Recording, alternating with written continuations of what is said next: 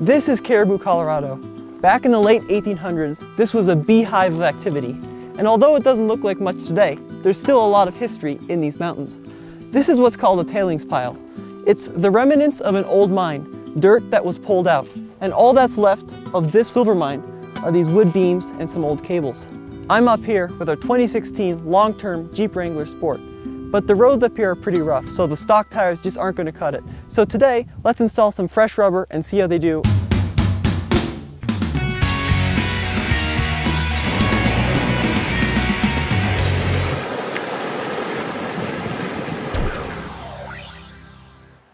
So let's explain the tire I decided to go with, the wheel I went with, and why we're upgrading in the first place.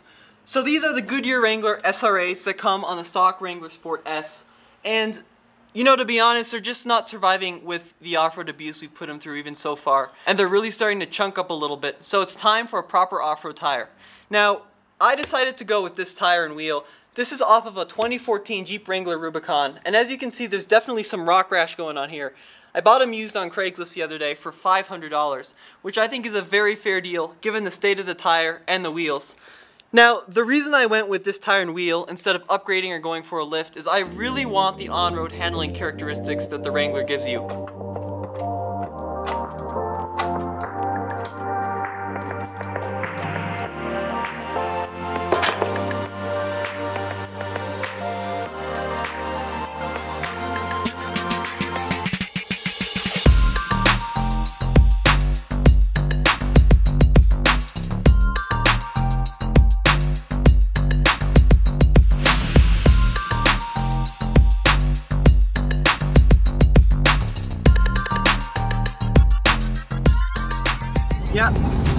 I do notice the ride is a little bit harder going over those railroad tracks, but you know, nothing I can't deal with. It did come out of a YJ, so they're great. There is no steering wobble whatsoever. Oh, I'm so happy. After a quick road test, it was time to hit the trails.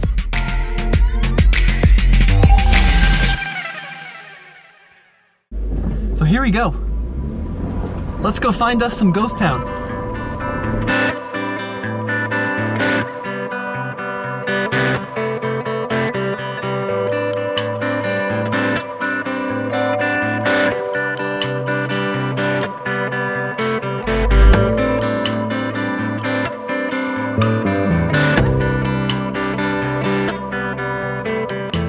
Now it's a beautiful day, so we have the top open, four-wheel drive low, BFG mud terrains mounted. Now straight away off-road, you can really tell an improvement in traction. Even in mild off-road conditions like this, there's just so much more grip everywhere. I mean, it's really an incredible difference. In my opinion, the number one way to improve your vehicle off-road is through a good set of off-road tires.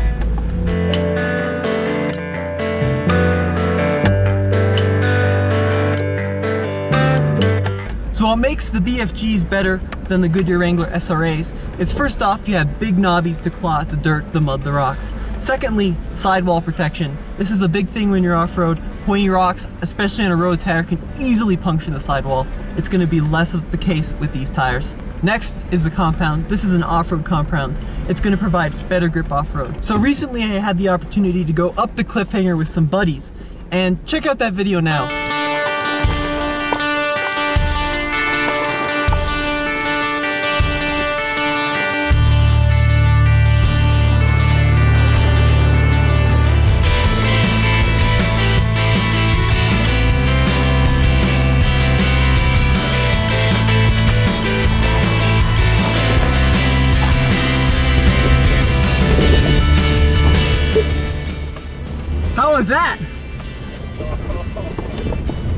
I think it's selected français. Do you want to change language? Je crois que vous avez No! dit français. Voulez-vous changer de langue? Hang on, it's speaking French at Français, me. choisis. No, I don't want, oh my god, I just changed it to French. So the Jeep performed much better on the cliffhanger with these tires than they did with the old Goodyear Wrangler SRAs.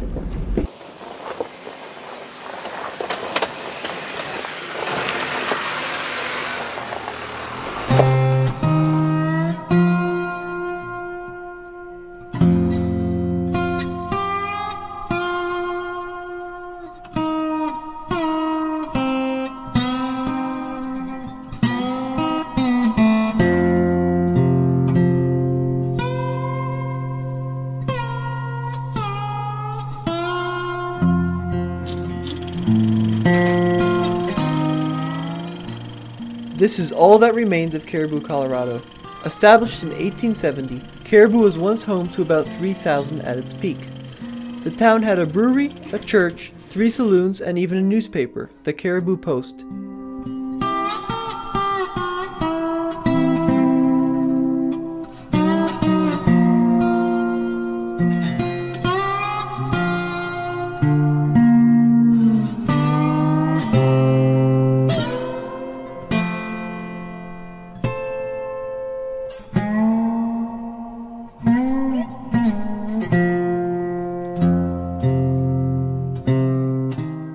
The town of Caribou actually burnt down in 1879. And by 1910, there were only about 50 people that lived within its limits. So even though Caribou's heyday is long over, this is still a great area to visit. Below, I will post the Google Map link if you want to come up here and check it out for yourself.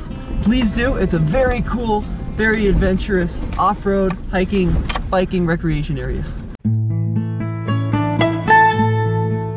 Once upon a time, Caribou was a successful mining town, and although not much remained of its former past, there is a mining museum just a few miles east in the town of Nederland.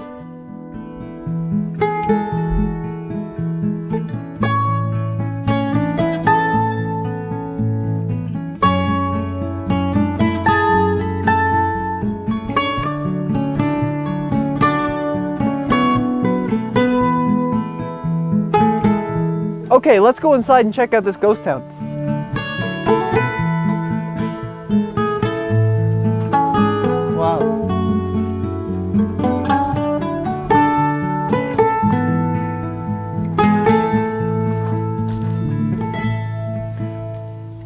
So be sure to stay tuned to more TFL and more Difflock as we explore more ghost towns throughout Colorado.